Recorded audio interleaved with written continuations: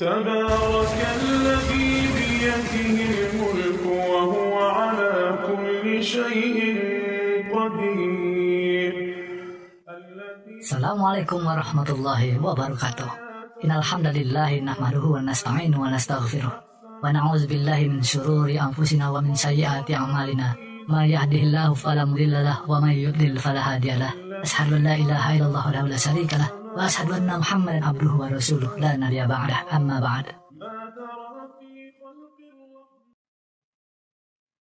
la pemirsa rahimakumullah. Kita tahu bahwa di akhirat nanti hanya ada dua tempat yang telah disiapkan Allah kepada makhluknya dari kalangan manusia dan jin, yakni surga dan neraka. Tidak ada tempat ketiga dan perantara di antara keduanya. Jadi, seseorang itu kalau bukan ditempatkan di surga, pasti ditempatkan di neraka. Begitu juga sebaliknya, kalau bukan ditempatkan di neraka, pasti dia akan ditempatkan di surga. Dan kita sebagai seorang muslim tentu mendambakan untuk bisa ditempatkan di surga dan bukan di neraka di mana surga merupakan sebuah tempat yang penuh dengan kenikmatan yang diberikan Allah kepada hambanya yang mentauhidkannya sewaktu mereka hidup di dunia, yang mengerjakan amal soleh, mentaati perintahnya dan meninggalkan segala larangannya. Nah, pada kajian kali ini, kita akan membahas tentang kenikmatan-kenikmatan surga yang akan kita peroleh bila kita termasuk salah satu dari penghuninya suatu saat nanti. Amin ya pemirsa. Dan juga seperti apa kenikmatan surga yang paling tinggi yang akan diberikan Allah Azza wa Jal kepada hambanya di surga nanti. Yang jelas, kenikmatan yang tertinggi di surga itu bukanlah kenikmatan berupa hidangan yang lezat, bukan pula kenikmatan mandi di sungai yang airnya bisa diminum yang terbuat dari khamar, susu, dan madu, dan bukan pula kenikmatan bersenang-senang dengan bidadari yang cantik jelita. Mau tahu jawabannya?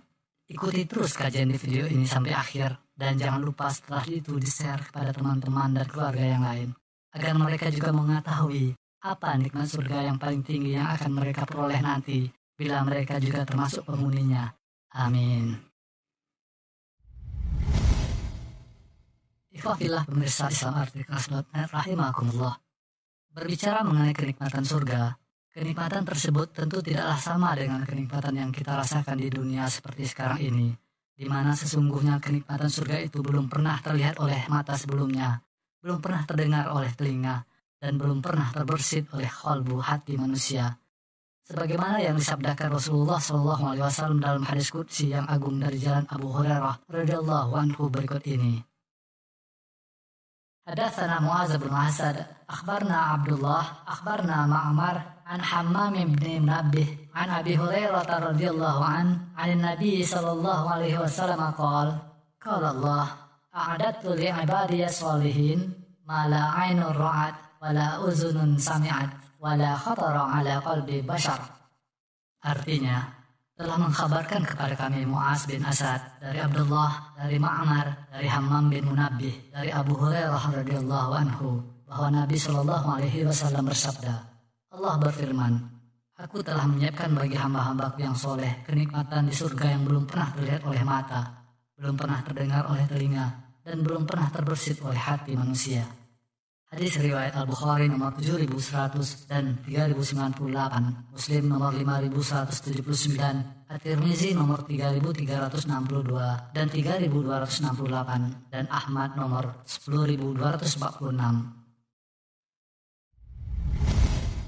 Hadis di atas menunjukkan bahwa kenikmatan surga itu sangatlah nikmat. Jauh lebih nikmat berkali-kali lipat dibandingkan kenikmatan dunia yang kita rasakan saat ini. Sehingga saking nikmatnya, belum pernah terlihat oleh mata, terdengar oleh telinga, dan terbersit oleh hati manusia. Selain itu, Allah Azza wa Jal juga mengkhabarkan kepada kita hambanya bahwa di surga itu para penghuninya penuh dengan kesibukan di dalamnya. Tapi, eh, jangan salah dulu ya. Kesibukan mereka di sana tidaklah sama dengan kesibukan kita di dunia saat ini. Pergi pagi pulang malam potong panting kerja. Tidak. Kesibukan mereka di surga adalah kesibukan yang menyenangkan Sebagaimana firman Allah Azza wa Jalla dalam surat Yasin ayat 55 yang berbunyi. أعوذ بالله من الشيطان الرجيم إن أصحاب الجنة اليوم في شغل فاكهون Sungguh para penduduk surga itu berada dalam kesibukan yang menyenangkan. Yasin ayat 55 di dalam tafsir Ibnu Katsir dijelaskan bahwa seluruh imam dan ulama ahli tafsir seperti Ibnu Mas'ud, Ibnu Abbas, Sa'id bin Musayyib, Ikrimah, Al-Hasan Al-Basri, Qatadah, Al-A'mas, Sulaiman At-Taimi, Al-Auzi, semuanya menafsirkan bahwa yang dimaksud kesibukan yang menyenangkan pada ayat ini adalah kesibukan dalam menggauli para istri-istri mereka, baik istri dari kalangan bidadari maupun istri dari kalangan manusia. Tafsir Ibnu Katsir, jilid 6, halaman 582.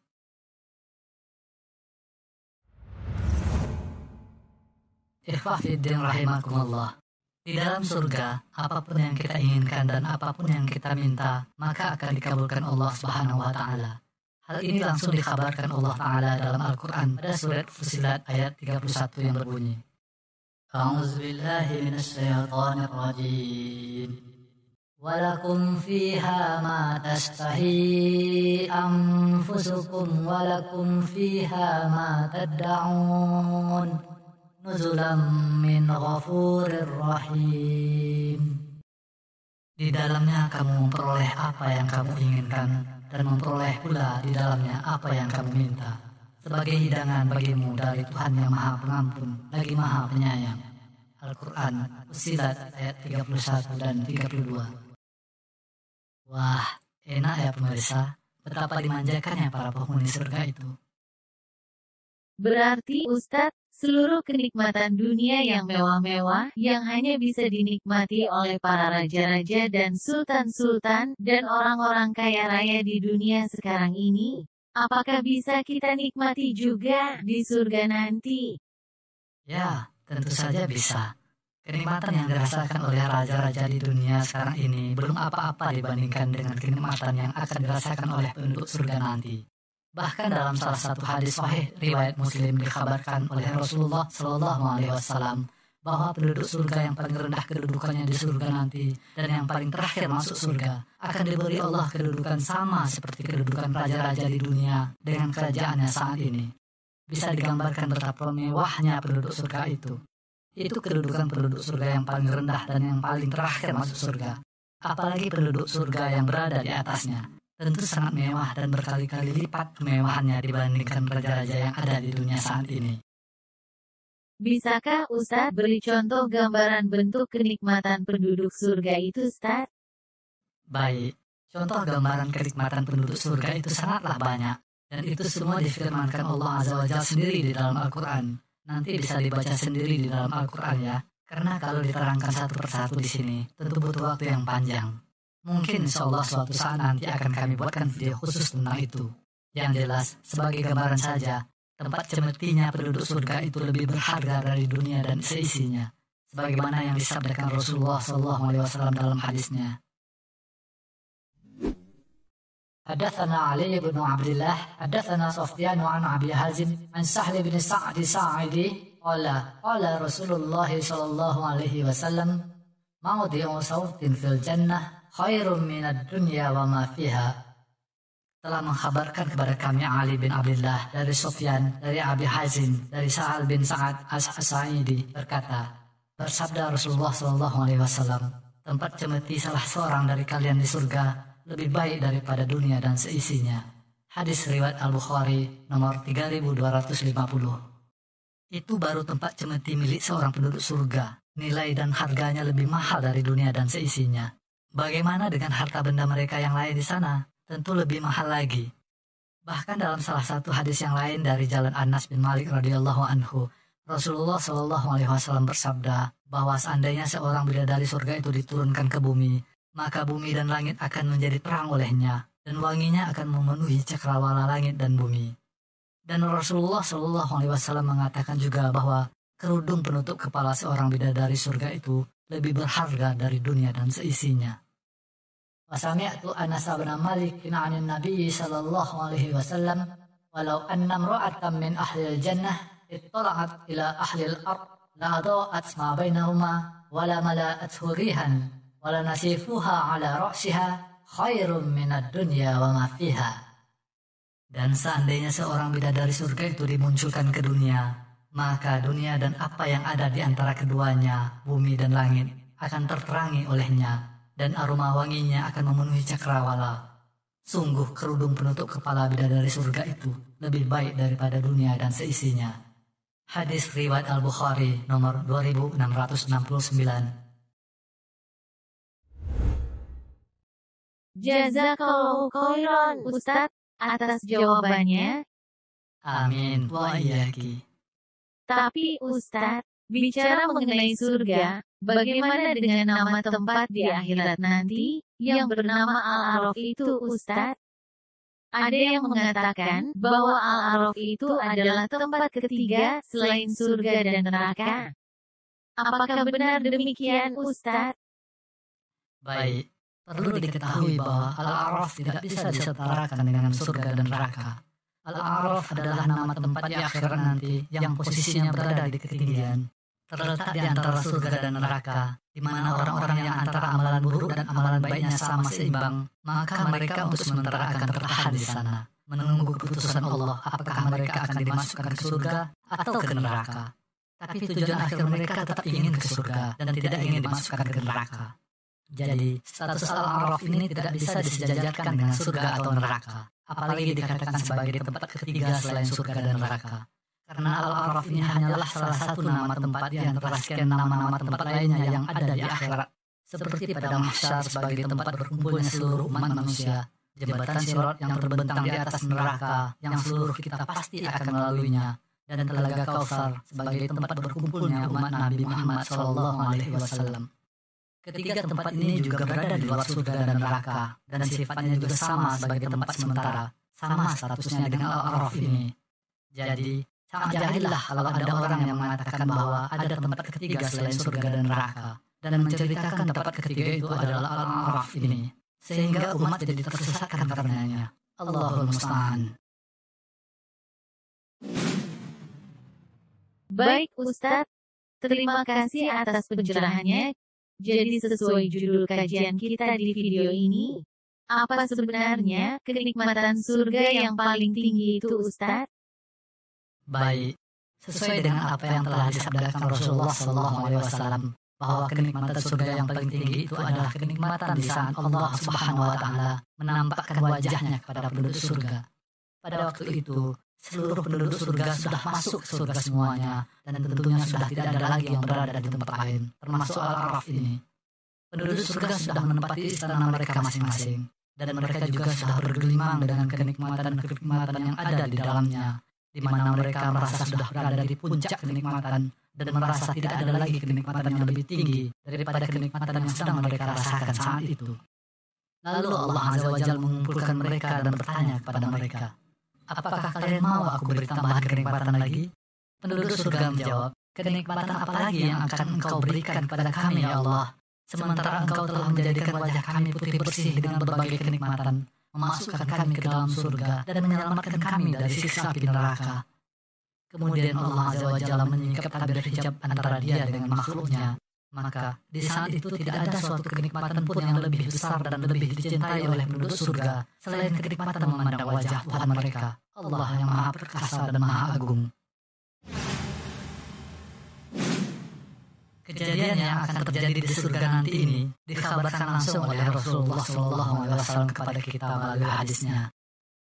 حدثنا عبيد الله بن عمر بن مسرح قال حدثني عبد الرحمن بن مهدي حدثنا حماد بن سلمة عن ثابت البناني عن عبد الرحمن بن أبي ليلى عن صحيب عن النبي صلى الله عليه وسلم قال إذا دخل أهل الجنة الجنة قال يقول الله تبارك وتعالى تريدون شيئا أزيدكم فيقولون ألم تبيت وجوهنا ألم تدخلنا الجنة وتنجنا من النار قال فيكشف الحجاب فما أعطوا شيئا أحب إليهم من النظر إلى ربهم عز وجل telah mengkabarkan kepada kami dari Ubaidullah bin Umar bin Maisarah beliau berkata telah mengkabarkan Abdurrahman bin Mahdi dari Hamad bin Salamah dari Thabit al-Bunani dari Abdurrahman bin Abi Layla dari Syuhaib dari Nabi Sallallahu Alaihi Wasallam beliau bersabda jika penduduk surga sudah masuk ke dalam surga seluruhnya maka Allah Taala berfirman kepada mereka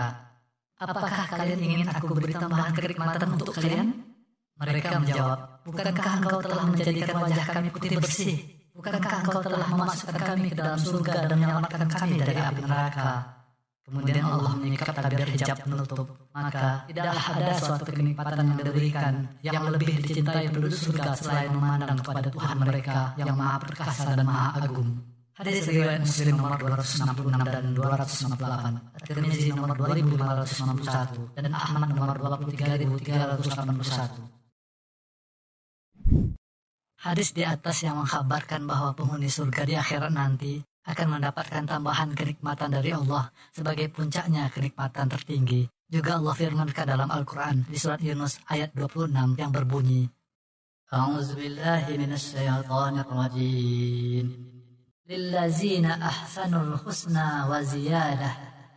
Bagi orang yang berbuat kebaikan, mereka akan mendapatkan surga dan tambahan melihat wajah Allah. Al-Quran, Surat Yunus ayat 26. Para sahabat Nabi Shallallahu Alaihi Wasallam sebagai orang paling dekat dengan Rasulullah Shallallahu Alaihi Wasallam yang menerima penjelasan secara langsung tentang tafsir suatu ayat Al-Quran seperti Abu Bakar As-Siddiq, Uzaifah ibn Yaman, dan Abdullah bin Abbas menafsirkan makna kata ziyadah atau tambahan itu sebagai memandang wajah Allah. Tafsir Ibnu Kathir. Dan Al-Baghawi menyatakan bahwa sahabat lain yang juga berpendapat yang sama adalah Abu Musa al-Ashari dan Ubadah bin As-Somit radhiyallahu anhum.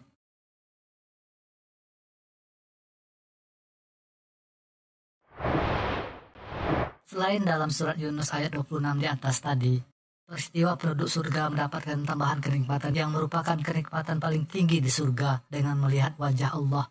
Juga Allah firmankan dalam surat Al-Qiyamah ayat 23 yang berbunyi,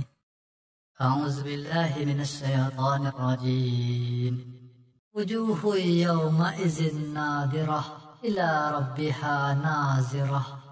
Wajah-wajah orang mukmin pada hari itu berseri-seri memandang kepada Tuhannya. Al-Quran Surat Al-Qiyamah ayat 22 dan 23 Imam Ibnul Qayyim Al-Jauziyah rahimahullah dalam kitabnya Ighathatul Lahfan menerangkan perihal kenikmatan di akhirat yang paling tinggi ini. Berkata Imam Ibnul Qayyim Al-Jauziyah rahimahullah bahwasanya kenikmatan akhirat yang paling utama, paling agung dan yang paling tinggi secara mutlak adalah melihat kepada wajah Allah Jalla Jalaluhu dan mendengar ucapan Allah Ta'ala.